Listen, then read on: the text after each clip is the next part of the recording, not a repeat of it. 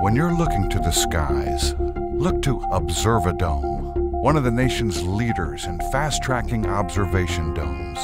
Based in Jackson, Mississippi, we've been designing and building fast-tracking domes since 1960. Today, our domes are in use throughout the world, serving the amateur client as well as education, military, research, and aerospace applications. Observadome employs a proven design and manufacturing process that allows for maximum precision and tracking speed. In the late 70s and early 80s, we were contracted to build 18 domes for the Air Force GEODSS Space Surveillance Program. One of their primary mission requirements was to categorize all orbiting craft and debris by optical means. Our team has recently announced new advances in fast-tracking observadomes.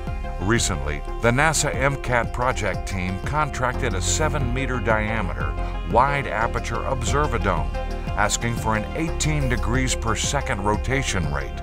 By strengthening the dome suspension casters, utilizing a larger drive system with variable frequency motors, we were able to test at almost 25 degrees per second far exceeding specifications. With further refinements, 30 degrees per second can be achieved. Whatever your application, from small telescope shelters to missile tracking laboratories, the company to turn to is Observadome, an industry pioneer for more than 50 years. For details, log on to observadome.com today.